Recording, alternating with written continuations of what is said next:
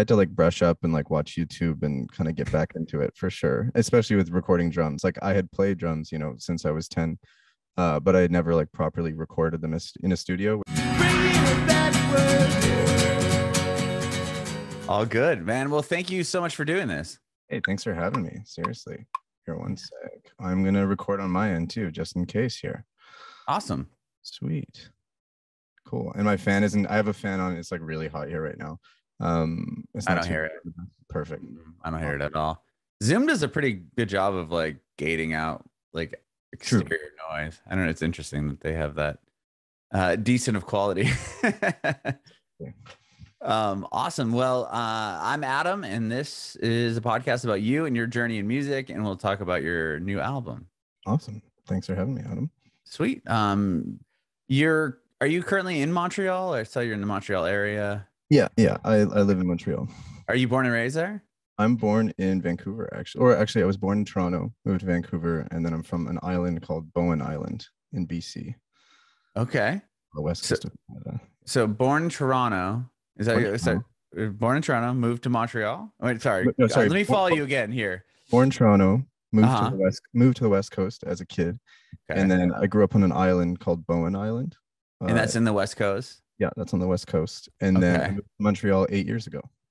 And so- Awesome. So, how long were you in Toronto for? uh, oh, oh, I was like just a child. Okay. So then you move when you moved to this island. Like, uh, tell me about growing up on it on an island. How close was Great. the mainland for you? Or Uh, like the island is a bit of a suburb of Vancouver, like of the Okay. city. It's like a 20 minute ferry ride to the city, so it's not so bad. Um, but you know, there's a school there. It's like fairly independent. Um, but yeah, like grew up going to elementary school there and all that. Definitely like uh the island stuff is uh it's great as a kid, but as you get older, it's good to get into a city. sure, you kind of know everybody on the island. Yeah, yeah, which is great in a lot of ways for sure. But uh, Okay. it's good to live in a city where there's a lot more people as well. Did you go out to the city quite often, or did you kind of stay on the island? Oh, I mean, once I moved off again, like I was like a young kid when we finally moved into the city. Um, but yeah, as as a as a child, I definitely didn't leave the island very often. Okay. So when? How old were you when you moved into the city? Then. Like ten years old. So oh, it was- okay. Yeah, yeah. I was just a small kid growing up on an island, and then Got you. Wasn't there? I was in the city. Okay, okay, okay. And then what about getting into music? When did you do Getting that? Getting into music came late for me. Like I played, you know, guitar and drums as a kid growing up, um, but nothing serious. I was never in bands. Uh, I never thought of it as, as a serious thing. It was more of just a hobby. Um, Mhm. and then I didn't start like really getting into music and like writing music until I was 20. Oh, like, interesting. in, in university. Yeah, it was kind of a late thing for me. uh, Okay. Drums and guitar, you said uh, early on. Were you uh, born into any sort of musical household at all? Your parents? My mu- my family's like definitely very into music, but uh, none of them are like serious musicians or anything. I have aunts and uncles that are though. oh, wow. Yeah, one of my uncles, he's a great jazz musician, and he started a university program in Vancouver, um, like a jazz specific one. Yeah. That's cool. Were you ever interested in jazz or learning jazz from him? No. I thought he was growing up. I thought he was a carpenter. I didn't even know he was like a jazz musician, which is like very naive of me. Uh, but it wasn't until I went to like his retirement party. But I mean, I was like 13 at the time. right. so I, I thought he was like a just a carpenter as his career. I had no idea he was like I knew he could play music. I didn't know it was such a serious thing. That's cool. That is So- cool. When did you play? what did you play first, guitar or drums? Drums first. Yeah, How old were you when you started playing drums? 10 years old. Oh, okay. So it all kind of started when you moved into the city. Exactly. Well, it started, yeah, it started just with lessons and stuff, but it just, I was like, just a, you know, when you take lessons, but you don't like start bands or like start recording or anything like that. It was like purely Right. like a lesson style thing. Um, Okay. So it would be like, you know, playing a sport or something like that. Did you do like like uh, when it came to drums? I guess were you in like drum line or was it just No, it only was- it was- to it was drum kit, like learning rock songs. just to rock songs and that was something you just did for yourself exactly. as a hobby and that was it? Yeah. And that was it. And then you eventually move on to guitar. Was it similar? Yeah. Similar, you know, my, it's funny. It wasn't a choice of mine. It was like my parents kind of forced me into it in a funny way. They like bought me a guitar for my birthday. And, uh, my first reaction was I, that I didn't play guitar, and I was wondering why they bought me one. Ulterior motives. Like, okay, yeah, that's. Do you have, did you have a drum kit at your house? I did. Yeah, like Okay. a drum kit. Okay. Was it like I mean, was it something that maybe was okay, this is getting loud and uh let's move them on to something a little quieter or Yeah, were, I- were I- you kind of secluded with the drums? I think the drums, like them being loud, even for me, I felt uncomfortable practicing them all the time. To be honest, I didn't practice as often as I should have. Um, but with guitar, it was like less effort. You know, you didn't have to like go down into the basement to play guitar. Um, Sure. So yeah, like I did guitar. I never did lessons for guitar though. It was all self-taught, but just acoustic stuff. You know, the embarrassing like campfire songs and Of playing course. and stuff like that. Were those uh I mean, was that something you said you never started a band or anything? Did you write music at all or no? It was just kind of learning other people's songs. I, I thought about it. yeah just learning like covers and stuff and i thought about writing but i just didn't really know i couldn't comprehend like how to go about it um and then yeah like i said that didn't come until i was like in my 20s basically Okay. So you go away to university or are you going in in Vancouver? Where where do you Yeah, go to I- school? i went to university for one year uh at ubc which is like the bigger university in vancouver um it's the same university actually that has a college radio station that Nardwuar has a show on I don't know if you're- Oh, is that where he came from? Was yeah, that? yeah, and he's still there he like he still has a weekly radio show i think on fridays on citr radio No way. Yeah so that was like Top- huge early inspo for me for sure yeah man, he's so good. Like just watching his interviews are yeah, very inspiring. iconic stuff and the early stuff too in his early shows and everything and being able to see him like live at the radio station was very cool too That's so awesome. I did radio too for a lot of years in in, in uh, here in the United States, in San Diego and in San Francisco, and uh, I Mm-hmm. remember seeing early interviews with him on YouTube and just how, how who he would interview. I'm like, how did he get like Wu Tang Clan? Like, Oh, yeah. all, you know what I mean? Like, just these mind blowing people that he he would have a chance to interview and mess with in the in the Yeah. sense that he does. Like, it's like his character just people are so into it and he's like always it's not like he puts the character on necessarily it's just him too so i think it's like pretty intriguing for people Yeah, he's just he's such a great researcher to find these little tidbits. Like uh when he not to go off on Nardwuar, but it's just like I watched one with uh but he's funny too. He, he the, the the two that come to mind are he he interviewed Billie Eilish and he asked her about going to see Green Day with some with her neighbor that she had a crush on or something like that. And she's like, How would you even have any clue that I, you know, had a not only had a crush on this person, but went to see Green Day at like, you know, 12. Exactly. Yeah he's wild. And then he uh, interviewed Lil Peep and he Mhm. asked he asked him with with you know with so many lils on Spotify what makes you different? I thought that was such a funny question. Uh, okay so he went there. Not that uh, any anyway uh, moving past Nardwuar uh, so were you in like there is when you started to get well that's like, where like, into music music as far as like writing your own I stuff mean, I was really about that into like listening to music. You know, I was like a big into like following blogs and stuff like that. Um, Okay. You know, I, at school, I was just going for like science, and I hated it. Uh, and then I met a guy in my dorm who like made electronic music, and I was like, "What is that?" I didn't really fully understand how that was done, and so he kind Mhm. of showed me Ableton, and then from there, I dropped out of school and was oh very really learn yeah yeah and then i got very lucky because of the grades i had in my from uni from like my first year of university i managed to transfer to another university and get into a music program like a composition program. Even though i had no background in composition i like transferred in took a test so i could get like the base level and then i started from there. Um but that didn't last very long either. I just did two years of that and dropped out again. Okay. So you like going in, you said as a science, you were in, in like the field of science. Yeah. Was your family pretty academic or, and No. what was their, rea- uh, my, was my, their, fam- my family's not very academic. I mean, they they went to university and stuff, but they weren't. Uh, they're not academics themselves or anything. and they didn't kind of push that, like you should go to school for science to, blah, blah, I, I just like thought that's like what you should do. You know, if like you can like do math good, you should do the hardest thing potentially, like for your undergrad, which is science in my mind. no, Um, for sure. yeah. So That's, I did that's how and I went into like, university saying, what can I take that I don't need to take science or math? There you go. yeah and then i quickly realized that after a year of doing it uh i figured i could do it but did i enjoy it no so Got it. I was like, oh, you know what would be very challenging for me is music because I don't really know how to do that. Mm-hmm. Um, so I launched deep into that instead.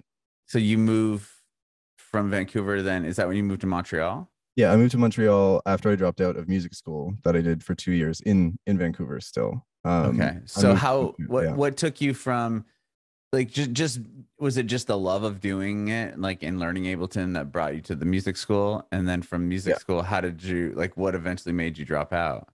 Uh, well, the music school stuff I was learning, it was all based on like 20th century composition, um, which is like where where composition gets really like crazy heady, uh, and moves into like atonal territory, and like dissonant harmony and whatnot, which is very interesting stuff. Um, but once we dove deeper into like dissonant theory, uh, I realized that I wasn't too. It was like I felt like I was back in science. right. So Because there is a sense of science and math. I mean, uh, uh, yeah, like with that, underlined in music. Yeah. Yeah because like i was learning about like serialism and stuff and having to compose like serialist pieces which is like fully based off numbers um Mhm. that's where like it's sort of void of emotion to a certain extent at least the stuff i was learning was um like i know there's like tons of amazing like modern composition but uh at the time i was just i realized i was like you know i'd rather spend my formative years as a musician learning uh music with emotion Sure. Okay. So- See, once you I got to realized I that point, without I, I realized I could do that without academia as well. okay. And were you pursuing that? Were you putting songs up online? I know you had a couple other alias projects prior to That's when I this doing- one. I was making more like like uh like beats and stuff like that at the time, um, and experimenting more with like yeah like weirder, or more experimental types of electronic music, um, Okay. not not dance music at the time. So I was already doing. I already like had sort of a thing going, but then when I moved to Montreal after dropping out, that's when I started doing more like dance music, DJ oriented stuff. Okay. So you you kind of had a thing going when you're in Vancouver. Did, was there like uh like a validating moment at that point yet to where you obviously you, you dropped out. So was there something that you were able to be like, you know what, I think I could really pursue this guess- as a career? I was just DJing a lot in Vancouver. Um, Okay. local- I wasn't touring yet, but I was doing like throwing a lot of parties and say promoting at certain clubs and, you know, bringing people in from out of town, um, and doing sort of after hours type type like warehouse party things as well.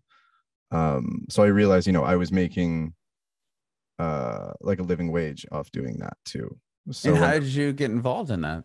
Just I mean, networking? from going out and meeting people and networking and yeah there was i mean obviously there's very like tons of different mentor type figures in my life through that time too that i met from going out um, but it felt all very natural and just like through the social scene really Okay. And Yeah. then you moved to Montreal, which is a totally new territory for you. And Yeah. not only that, like you probably, I mean, you, you if you built something in Vancouver eh, around these parties and getting people to show up there, like what's the likelihood that you're going to get them in Montreal? Yeah. It would be a totally different crowd. totally and i didn't really know many people when i moved here i knew uh just like a very small handful of other people that did what i did uh, Okay, i just knew that it was a city that had more uh potential for what i wanted to do i guess vancouver can be very corporate and a lot of the clubs and venues there it's like just a lot more money involved um Mhm. and i realized that wasn't i wasn't really making the right type of music to succeed in that sort of world um and so moving to a place more like montreal which is more of a diy type scene um i found that more intriguing Sure. And do you just uh, right away just go out and try to meet as many people as you can and try to get booked on I various? drove, I drove out here with two friends I that's how i moved here uh Oh, wow. Yeah and then i moved in with a buddy and then just from there i started i mean i i knew some people you know from the internet it was all like soundcloud slash like other internet friends Mm-hmm. um, and then also montreal is like much closer to other cities than vancouver is vancouver's a bit of an island on its own like seattle Right. would be the Yeah, closest it's just a yeah, it's kind of just above Seattle on the west Exactly. coast. and even from there like you know seattle portland or whatever for like electronic music that's not the most like hot scene you could probably imagine there's great stuff going on it's just not you know uh, as big as say like montreal toronto new york hmm sort of could be and also montreal is much closer to europe uh, when it comes to flying than vancouver is too Oh, sure, sure. yeah so when that it was like the idea of being able to tour uh, was also uh like an integral part of like wanting to move to Montreal. Okay. So you get there, and uh, what was the then? I guess from from there, what was the first big moment that continued you being like, "This is where I I, I know that this Yeah, yeah. is what I need to be doing." Was the big validation? Uh, I mean, I put out so that's when I put out my first like full length type record, uh, which was in 2014. So I Okay. did that. Like I had just moved here and then I released a record. Uh, and that record kind of put me on the map of being able to tour. That's like when I got recognition in Europe and whatnot. And how Uh, did that happen? Just via SoundCloud? Yeah, I it was out on a label called 1080p. Uh, it was this tape label that was kind of happening, I think, from 2012 till 2015. It existed, uh, but they put out tons of different releases and kind of kickstarted a lot of different people's careers in like the electronic music scene. And how did they get a hold of your your record? It was a friend of mine that ran it. Oh, okay. yeah so again it was like another social thing um and yeah and then this full length was sort of the first of like the first record of mine that i did it sort of in this different style of music uh and that being more like house musicy style of music Sure. Mhm. Okay. So so you you put out the, that record and then that allowed the opportunity because it was well received with people what Exactly. online and everything. It was Yeah. doing well streaming and and it was well received like i mean this was also pre spotify uh so it was Okay. like pre- pre-streaming it was, a it lot- like blog, like Hype Machine, that Yeah. type of situation? It was a lot more like bandcamp and uh bandcamp and like even it was like a tape label so tapes were actually quite popular at the time it was like a funny there was like a three year window at the beginning of the 2010s that i feel like tapes were like really popping I Um, remember that. I yeah. do. Yeah. so this was the The one cassette came back and it was like, huh. and the but- cassette like really was the format for this style of music at the time i felt and vinyl but like this is i didn't even put this record out on vinyl Uh, really? It was just only cassette? it was only cassette because that was the thing this label was known just for doing cassettes That's cool. I remember I was I skateboarded growing up, and that was the funnest thing to do is like make little mixtapes and Oh, then yeah. bring your little you know bring your boombox or your ghetto blaster to the to the skate spot and just be and play whatever it was you know dance music a lot of hip hop I mean that yeah, that, I mean releasing on this label got me back into collecting tapes and stuff too, which was awesome. that's cool That is Really cool format. and so you what was it like touring for the first time and, and going across you know the world essentially It was like pretty I, I got lucky. The first tour I did, I did with two friends that were also on the label. Oh it's wow! I, I just like, interviewed them time. like uh like two weeks ago or a week ago.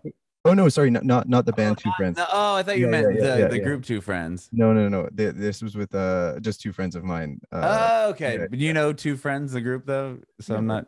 Oh, they're I'm thinking of this group that I know from Australia called Two People. uh, uh, Two, two friends. friends were from LA, but they're a, a dance. They're the same thing. They're like a DJ, electronic music. That's so funny. Anyway, it would have fit right in your genre. It would have it would have made total sense for you to tour, to Yeah, tour with- with, with- them. But no, it was Uh, two two other friends. Uh, oh, got you. Okay. that, that I toured with. So that was like a nice primer for you know seeing how it worked with DJing as a as a DJ in uh or sorry touring as a DJ in Europe. Um, okay. And that was in 2015, like the fall of 2015, I think was And the first tour I did. Electronic music made it there so much faster than here, right? I mean, it was a Yeah, I mean, deal. Like, electronic music has always been a big thing in the states too, because a lot of it originates from say like Chicago and New York, or uh, yeah, Chicago, New York, and Detroit. Mhm. Uh, but in terms of it being like a widespread scene with like a touring circuit uh, for artists at my level, being like not super successful musicians, but like you know being still on a on a smaller level, you could still hold a tour in Europe, which Got is pretty- which you can't do in the states necessarily as a DJ. I find uh, it's a bigger country and just a very different touring market. Um, sure. Yeah, because each each market in each state has a different kind of demo and scene that you've got to break into. Yeah, and getting around is like much further. You have to fly like expensive flights all the time, whereas in Europe, you know, there's very cheap flights, there's trains, there's all sorts of ways to get around. Right. Much easier. Even a place like the UK, you could just tour the UK for like a couple of weeks, even. Uh, yeah. I mean, there's so like, many, yeah, super- so many towns and cities that are, yeah, up all the way up. and it really to- countries too. yeah exactly but uh yeah so getting introduced to that i realized that was where like my music really worked i guess versus north america so i continued to live in canada but i spent a lot of time in europe from 2015 till like the pandemic basically. Oh, okay. So for five years, I was spending almost half the year each year in Europe. Wow. And then the pandemic happens, and uh, had you already started working on your new album or your was- debut I- album? I had like tons of uh sort of like sketches in the mix and stuff and some lyrics written. Um, but I hadn't like recorded much of much of it at all. Um yeah, like some of it had started in 2019, but not Okay. like I, I didn't really realize it, you know, like I'm always like writing random sketches and stuff. So uh some of the songs that made it on the album were from sketches from like 2018, 2019. Oh, okay. Well, and the sound prior to that was you said that was much different. Were you writing lyrics and, and having it this, like a full production, or was it more just electronic dance, like dance Oh yeah, music? I, I had never written lyrics before. Um, Oh, like, this wow. record was the first time I had written lyrics.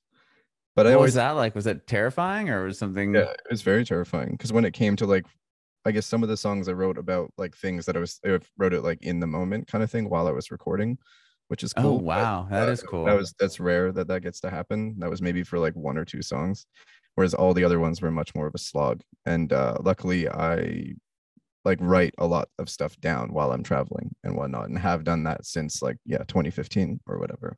So I could pull a lot of ideas and stuff for lyrics from those notes.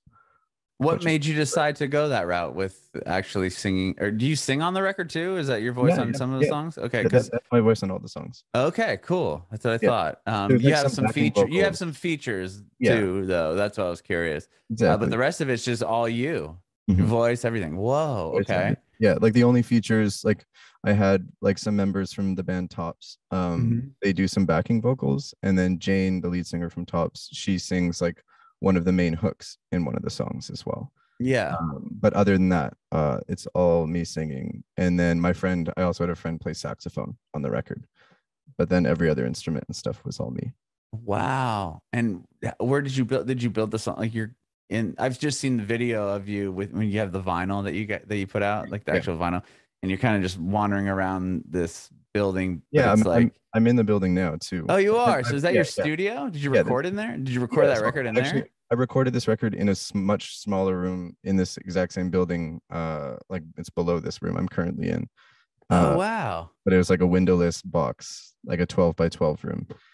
Uh, yeah, and I've had a studio in this building for a bit. This building's been around for four years now with different artists in it. Um, so yeah, I recorded it all here. And at the time, I was collecting like a lot of different gear because you know I didn't own guitars or bass guitars or drums or anything when I had started out the record. Um, but then I collected and collected during that time. With that knowledge of drums growing up, was that something that was easier? And then knowing how to play guitar a bit, like you course, do all yeah, that. Yeah. You were Yeah, able like to, I was, bring you know, that onto the record. I had to like brush up and like watch YouTube and kind of get back into it for sure, especially with recording drums. Like I had played drums, you know, since I was 10, uh, but I had never like properly recorded them in a studio, which is recording drums and playing drums are two completely different Oh things. yeah, how you mic them up and everything. Liking them is crazy. And then also just playing to a click is like such a pain in the ass. Um, crazy. So that like I I when I first recorded some of the drums for this record, I went to a studio like a four hour drive away from here, like in the wilderness. Uh that this guy uh Jonas has set up. It's like such an amazing studio. But I recorded drums at his studio because it was all nicely mic'd and everything. So I didn't have to go too deep into that myself. Like I didn't have to buy a bunch of mics and whatnot. Um, but then I just had to like play the same basic loop for hours and hours to get it right. It was so funny.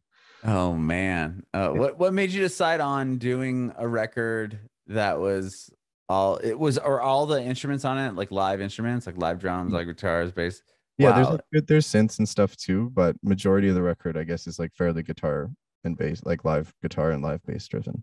wow and what made you decide on doing that and then obviously adding your voice and, and lyrics and everything else Mostly just for fun. Like it's super fun to play like to switch things up. I guess I've been playing with like synths and drum machines and stuff for a long time now. Um and it's fun to set yourself up with a challenge and something new. So I knew it would be very challenging and difficult for me to figure out. Mhm. Uh, but it, again, it was just so much fun to do. So with have, having a fan base did you were you worried you kind of jar them a bit like yeah, and I definitely did. Um, uh, but also it's it's something like uh, this is like a record I wanted to make since I put out that record I mentioned in 2015. That record Mhm. was almost leaning more into say like indie or band territory, and then after I put out that record in 2015, I kind of dipped deeper into like dance music and techno and stuff, Mhm. which I'm super happy I did too. But uh, yeah, I definitely wanted to make a band record right after that one. I just didn't have the resources at all. Okay. So And this this is the pandemic lead or uh, did that ha- like lend hand to being able to accomplish that? yeah, it accelerated it for sure. Okay. um, because I just had more time. I before then I was just on tour all the time and didn't anytime I was in the studio, I felt like I just needed to kind of continue with a similar formula or just you know stick to doing dance music stuff uh, and was like a little too, I guess, scared to really dive deep into something else. Um, Well, yeah, like, I mean, it's like yeah. the your your livelihood, right? And like, in Totally. you don't want to lose something that's working. yeah something that's working or losing momentum uh which is like totally what i ended up doing. Like i did definitely lose momentum in the dance music scene that i was involved in. Like i'm not even though things are sort of back and stuff and you know festivals are back i'm not like djing very often anymore. Is that Um, right? What yeah, about that playing live? playing live yeah so i'm starting to. Like i have Okay. some shows booked this month and that's like the whole plan of this you know. I feel like it's like starting from scratch again. Um you know i've done this before so uh i know what it takes but it definitely takes some sacrifice for sure Yeah. Do you mind doing having to start over? Is it kind of frustrating? Like, ah, No. you know, I built this whole thing and now I've got to kind of i mean i'm not it's definitely it's like you yeah it like really checks your ego in a lot of ways which is cool Sure. because you know i i'm like 30 now and i i think it's definitely good to kind of take a refresher and check yourself in a lot of ways hmm um, so i'm glad i did that but yeah with the dj like i'm still am like even next weekend i'm going to palm springs to dj this festival for two weekends uh but that's still i'm not like on a touring circuit or anything like that these days Okay. But you'll still do bigger shows like that. I'll What, do- what I'll- I'll festival is happening in, in, in, called it's called splash house it's like oh, sort of bigger edm type festival I'll have to check it out. They just had a pretty big one in, uh, in Riverside County, a Okay. EDM thing, but, um, obviously Palm Springs is known for Coachella. So I was curious. yeah yeah it's like an it's a Goldenvoice thing it's like done by the same people Oh, rad. Cool. So you're yeah. doing that? i'm doing that but I, I like with the live i much like what i'm trying to get going here is the band like doing the live stuff with the band hmm um, which i have like we've been rehearsing and everything uh but our first like real show is at the end of this month in montreal and toronto Wow. That'll be exciting. yeah it'll be super fun Um, obviously you have to take a different approach than your DJ sets. yeah like so being you know DJing out to a festival of people versus playing um, you know a show with a band like uh like how do you kind of re you know rethink your your approach there is that hard Yeah, to I mean, do it, it it was definitely it was hard to do and hard to think about when I was making the record. But then I was very lucky because my friends, Tops, like the band, um, they invited me to play bass in their band on tour, uh, which I did. We did like a 30 day tour in November last year in the States, oh wow and then did another like two month long tour at the beginning of the summer in Europe. So I got to play like 70 shows. uh, got your Uh, chops up as far as like being on stage and stage presence and all and how that all kind of works You know, I've spent a lot of time on stage before, but in a very different way. So right it really helped seeing you know just the overall process of like how a touring band works um which is not really an experience i've had before so i was very lucky to have them you know take me under and show me the way Do you go by just Patrick Holland on your uh, EDM stuff even when you're doing like these Yeah. festivals coming up? Yeah. So is there going to be like a disclaimer like you know when people see your Oh, name they it- might be it'll be like patrick holland like dj set is the thing Oh, okay. yeah Got but like you. this festival booking happened like before this record was out and stuff too so but from now on it'll be sort of split up into in a way but i won't be like i don't have plans to do like heavy djing touring like i used to Sure. so it'll Do you- become more band focused i guess Do you think you'll play any other your your record or will it just not fit in the set? I don't think it'll fit in the set. Uh, I mean, all depends. I always, you know, I travel with a lot of music, so you never know. Or remix like a, a beat remix of one yeah, of the I songs? thought about doing like I want to do remixes and sort of uh, edits of the songs to fit in that sort of atmosphere for the future. I Uh, think that would be cool if you had fun. your yeah your obviously you're a great producer and, and songwriter. You can do both worlds. So having, you know, Patrick Holland remix of a Patrick Holland song or whatever, yeah. That'd be killer. Mm-hmm. Cool. Well, um, I think the album's awesome. It definitely it was wasn't what I was expecting when I when I put it on. Thinking just knowing like listening to your older back catalog, and I was like, wow, like this is such a rad because it does have it has elements of obviously a you know electronic synths and and that that mm. that style wave through it, but not in the same you know regard at all to what your other stuff sounds like. Yeah, I guess like a lot of the sound palette is similar to my older stuff. Yeah, there you yeah, go. That's like, a great way to describe stru- it. Yeah, like the structure and the songwriting is definitely different. Um, mm-hmm. But like I said to people, it's like, you know, you can never really get rid of your melodic tendencies. Uh, so I find certain melodies and stuff that are on the new record definitely exist on the old stuff. No, totally. I like. I love how you describe that because it's like I know it's hearing your old songs. I know it's you still, but it's not you and uh, it is you. Uh, yeah but it doesn't sound like the old stuff but you can there's this undertone to it. You know that it's it is a song that you you had you had written and put together. Exactly. Yeah very very cool man well are you excited about the show coming up uh, oh, with oh, yeah. just your solo thing like I, that's probably going to be a pretty nerve-wracking day or not yeah, so much i mean so i've been practicing so I, it's the band we're going to do right, right from the beginning is just like it's a three piece so it's me on guitar and vocals and then my friend Amory, she's playing keys and singing, and then my very good friend Bane, who is going to play bass, and then we just have a drum machine for the backing track for the drums. Um, but other than that, there's no backing track. But we did a like a very intimate uh, performance in the studio last week.